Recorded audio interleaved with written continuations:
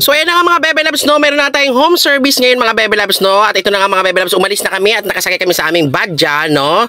Ayan mga Bebe Labs, kasama natin ngayon si Manager Andy at si Mi Ashley. At ayan nga mga Bebe Labs, katanghalian, tapat ang aming alis talaga naman napakainit no. Napakainit ng time na yan mga Bebe Labs. Kaya nilagyan namin ng kumot yung ibabaw ng aming kesame ng sasakyan para hindi masyado mainit kasi nga medyo malayo-layo ang biyahe. At ito nga mga Bebe Labs, dumating na kami dito sa Plaridel, Bulacan. Medyo malayo-layo pala itong Plaridel, Bulacan. At yan ang binababa na nga ni Manager ang mga gagamitin sa aming lice removal treatment, no? Ang aming home service. At ito na nga mga bebe loves, no? Napakarami kong dalang tuwalya at pinantakip ko sa aking ulo dahil super init. At andito na kami sa bahay ni Madam. Ayan, napakaganda ng bahay ni Madam, no? Ang kanyang anak yung aming tatanggalan ng lice, saka yung kanyang mga apo. At ito nga mga bebe loves, ginagayak na namin ang kanyang mga gamit. At ito na nga mga bebe loves, dinamitan na nga namin ng pang uh, lice yung aming kliyente. Ni scrub suit, dinamitan namin ng scrub suit yung aming kliyente.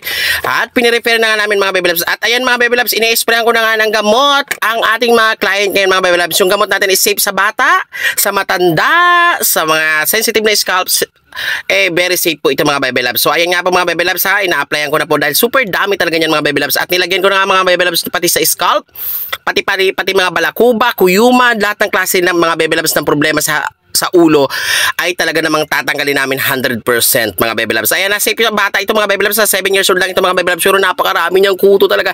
At ito ang kanyang ulo mga Bebe Labs. Super daming kuto talaga mga Bebe Labs. At talaga namang mapapasabi ka na, sa, mapapasabi ka na talaga na lang uh, na nakakatakot kasi dumami talaga mga Bebe Labs yung kuto sa kanilang bahay mga Bebe Labs at nagkahawa-hawa-hawa na nga sila mga Bebe Labs at nagkakanda sugat-sugat na nga ang ulo sa sobrang daming kuto mga Bebe Labs ayan o tingnan nyo yung mga Bebe Labs talagang dikit-dikit talaga sila mga Bebe Labs no talagang ma alam mo yun mga Bebe Labs ma, matatakot ka na talagang dumikit sa kanila kaya thankful na na-contact nila kami mga Bebe Labs no at pinaservice nga nila yung mga Bebe Labs mga anak nila na yan at talaga namang tinanggal namin nakikita nyo yung mga Bebe Labs dikit-dikit na yung buhok sa sobrang daming lisa kuto, dandruff lahat na mga Bebe Labs talaga naman ano so hindi kami nandidiri niyan mga Bebe Labs talagang tinatanggal namin yan ng 100% ayan sugat-sugat na rin yung anit ng mga Bebe Labs no so kung nakikita niyo yan mga Bebe Labs hanggang sa anit yan may mga kuyumad, may mga kuto at punong-puno na talaga yung kanyang hair ng lisa. Oh my God mga Bebe Labs. So ayun makita niyo na, tingnan niyo yung mga Bebe Labs. So Super dami niyan mga Bebe. Alam mo yung isang suyod mo mga Bebe parang million yung makukuha mo. Talaga namang super dami talaga, no? So kayo din mga Bebe kung gusto niyo rin magpa-lice removal treatment, magtumawag lang kayo sa aming page or tumawag kayo sa aming number at i-home service namin kayo. At ayun na nga mga Bebe Labs, nag-spray na rin tayo ng uh, ng mga treatment para sa scalp niya mga baby loves kasi ang dami niya ring uh, balakubak, no? So ayan, oh, inispray na rin natin yung kanyang scalp, yung kanyang uh, hair, na mga treatment na makapagpapaganda ng kanyang hair. Super dami. Ito yung pinakamarami mga baby loves yung kanilang tita. Super dami talaga itong mga baby loves as in, talagang acute talaga itong mga baby loves kumbaga, super acute na talaga itong kanyang lice, no? So ayan, no. Sa Plaridel Bulacan to mga baby loves ha. So malayo man, malapit din. So walang uh, walang hadlang mga baby loves ha. Basta mag-PM lang kayo sa amin, susugod sa inyo nyo ang Kuto Buster, no? Ang aming team mga Bebe Loves. Tingnan nyo naman yan mga Bebe Loves. Oh my God! Super dami talaga yan mga Bebe Loves. Talagang mapapasabi ka na lang ng, ouch, bakit pinabayaan? Ano? So kung kaya kung gusto nyo na nga, 100% tanggal ang lice, eh talagang dito dapat kayo pumunta or kaya naman kami ang tawagan yung mga Bebe Loves. No? Subok na to mga Bebe Loves kasi ilang beses na to pinalabas sa National TV mga Bebe Loves. So, subok na subok na to dahil napakarami na rin naming tinanggalan ng uh, lice, no? At nag-iisa lang kami sa Philippines mga Bebe Labs ha. So walang ibang uh, salon na nagatanggal ng ganito mga Bebe Labs, no? Ayan, no?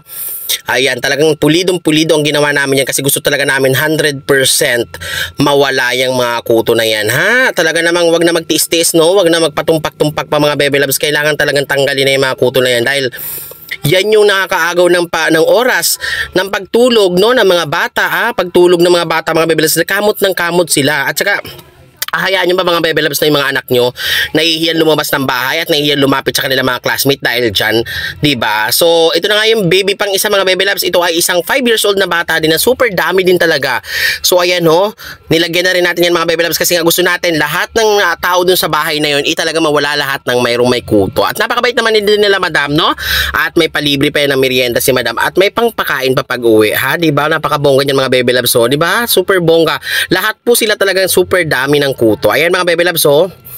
Nakita niyo po ba yan? Super dami yan at sugat-sugat na talagang scalp niyan mga bebe loves. Ang nakakatuwa dito sa gamot namin mga bebe loves, pag in-spray mo yan sa scalp talaga mga bebe loves, makikita mo yung mga kuto, talagang patay, no? At tatanggalin pa namin yung mga lisa na yan, lahat-lahat yan mga bebe loves, mga kuyumad na yan, lahat yan tanggal talaga mga bebe loves. At ito na nga, ayan na nga mga bebe loves, ang natanggal namin, super dami talaga yan mga bebe loves. Kung makikita nyo, hindi pa namin pinakita yung iba dyan mga bebe loves ha, pasintabi po sa lahat ng mga kumakain, ayan po yung natanggal namin, napakarami po talaga yan mga bebe loves, no? At lahat po yan mga bebe loves, kuto, lisa, kuyumad, at mga dandruff. Ayan no, natanggal po namin lahat yan mga bebe loves, diba? So pagpunta namin mga bebe loves, talagang automatic 100% tanggal yung mga lisa, kuto, kuyumad, at kahit ano pa mang problema sa ulo. Ayan no, so diba? Nakaka alam mo mga bebe loves kahapon habang ginagawa ko yan parang nag parang naglalaway ako hindi ko alam kung bakit no? So ayan mga bebe loves super dami talaga yan mga bebe loves so yan ayan isang mag-anak yan mga kuto mga bebe loves mga mag-anak niya mga pinsan niya mga ninuno niya lahat na po yan tinanggal namin di ba? Super dami talaga mga bebe loves di ba? So ay ito na nga po ginupitan na rin natin diretso no? Iniksyan na natin ang buhok ng baby girl kasi nga para mawala talaga tuluyan yung mga kuto niya iniksyan na rin natin mga bebe loves at tinreatment na rin natin, 'di ba? Para maganda, mas shiny, malambot. So ayan mga baby loves, nakita nyo dito kanina, 'di ba? Ang dami-dami niyan kanina. Tingnan niyo naman ngayon mga baby loves, wala na talagang 100%. Wala ka na talaga diyan mga kita. Ang linis na nung scalp niya. At yan din ang hair niya mga baby loves, wala na mga lisa, wala na mga kuto. Ayan, 'di ba? Dito lang yan sa Billy Milano Salon ha. Ang aming kuto buster, 'di ba? Ayan mga baby loves yung naging outcome at ginupitan ko na rin yan. Tinreatment na rin. At the same time mga baby love, siyempre, kinuwento na rin natin siya para kung paano niya iingatan yung kanyang hair na magbumalik yung mga kuto na yan mga bebe loves, di ba? Kailangan kasi, sasabihin mo rin sa kanila kung paano nila ingatan. So, pina, tinutos na rin namin na palitan yung mga hinigaan, huwag manghiram ng suklay, lahat-lahat mga bebe loves, di ba? Kaya, 'di ba? Para walang problema, no? Walang problema mga baby loves para the best na baby loves, 'di ba? So ayan, 'di ba? Oh super bongga na yan. At ito naman yung ibang mga kids, mga baby loves, nung isang 5 years old sa isang 7 years old, 100% din bye-bye sa kutong paulit-ulit. Ayan na, nakakaawa itong mga baby girl na to kasi nga, nag-aaral sila kamot daw ng kamot, no? Tsaka pag natutulog daw, hindi, ano, pagising-gising daw dahil nga, ang dami-dami ng kuto. So, ayan mga baby loves, 100% na talaga yan tanggal. At sabi nga nung baby girl, sabi niya, gumaan daw yung pakiramdam niya. Napakaganda pa naman ng mga bagets na to. So, kayo din, pag may mga anak kayo mga baby loves, huwag niyo hayaan na merong kuto, ha? Nagsisimula pa lang tumawag na kayo sa Billy Milano Salon, Kutu Buster at kami mismo ang pupunta sa inyong tahanan. Available po ang aming home service sa Kutu Buster. Ayan, thank you. Thank you, thank you po sa lahat po ng nagpapalice removal for 6 years. Kasi 6 years na po itong aming service ito mga bebe labs. So talagang subok nyo na talaga mga bebe labs, no? Subok na subok nyo na yan mga bebe labs, diba? Ayan, ayan, oh. Ito po ang, uh, ayan po mga bebe labs ha. So, ayan ha. Kontakin nyo lang po kami dyan mga bebe labs. Thank you and God bless you.